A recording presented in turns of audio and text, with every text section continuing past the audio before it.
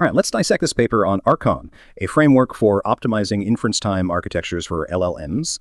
The authors claims significant performance gains. What's the core innovation here, beyond just throwing more compute at the problem? The key is the automated search for the optimal combination of inference time techniques.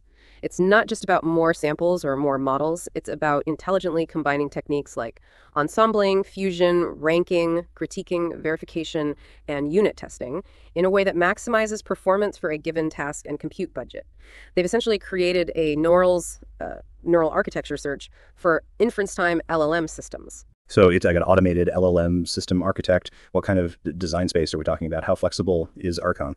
Archon defines a highly extensible design space.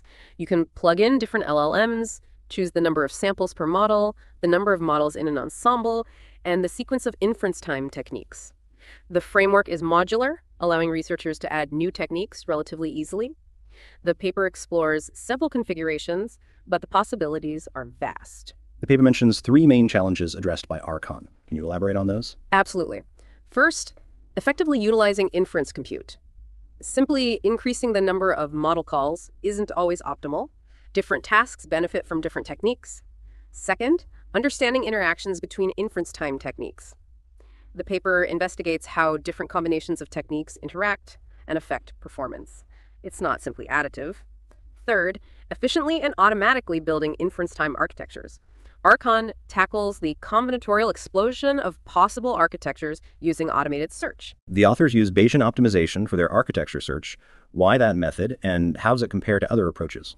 Bayesian optimization is well suited for this problem because evaluating an architecture is computationally expensive.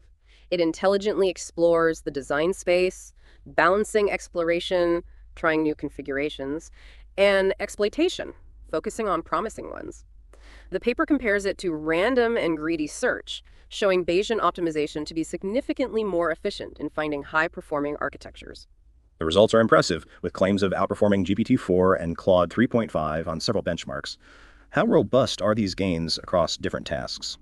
The performance improvements are quite consistent across instruction following, reasoning, and coding benchmarks. However, the optimal Archon architecture varies depending on the task. For coding, for example, they found that increased sampling combined with unit test generation and evaluation was particularly effective. For instruction following, layering critics, rankers, and fusers proved beneficial. Interesting. So it's not a one-size-fits-all solution.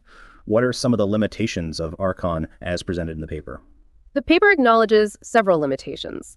First, Archon is computationally expensive and increases latency compared to single-call LLMs.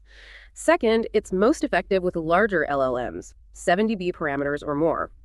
Smaller models show significantly reduced performance. Third, only a limited set of inference time techniques were explored. There's room for expanding the framework with new techniques. The authors mention the importance of scaling inference layers. Can you elaborate on what that means in the context of Archon? Scaling inference layers refers to adding more layers of inference time techniques. Think of it like adding layers in a neural network. Each layer performs a specific operation, liturgy, generation, fusion, ranking. Adding more layers allows for iterative refinement of the responses, leading to improved performance, particularly for complex tasks. However, the paper also shows diminishing returns beyond a certain number of layers for some tasks. The paper highlights the interaction between different components. Are there any particularly synergistic combinations that stood out? Yes, the combination of critic, ranker, and fuser layers proved highly effective across many benchmarks. The critic provides feedback on candidate responses, the ranker orders them, and the fuser combines the top-ranked responses. This iterative process of critique, ranking, and fusion leads to significant improvements. What about the unit test generation and evaluation? How does that fit into the overall picture? Unit test generation and evaluation are particularly useful for reasoning and coding tasks. The LLM generates unit tests to assess the correctness of candidate responses. This adds a layer of verification, improving the reliability of the final output, especially for tasks where correctness is crucial. The paper also explores the difference between task-specific and general-purpose Archon architectures. What were the key findings there? They found that while task-specific architectures generally perform slightly better, the general-purpose architectures, optimized across multiple benchmarks, still achieve very competitive results.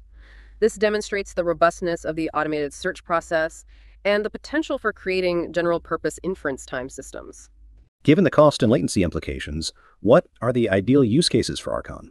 Archon is best suited for applications where high accuracy is paramount and the additional compute cost and latency are justifiable.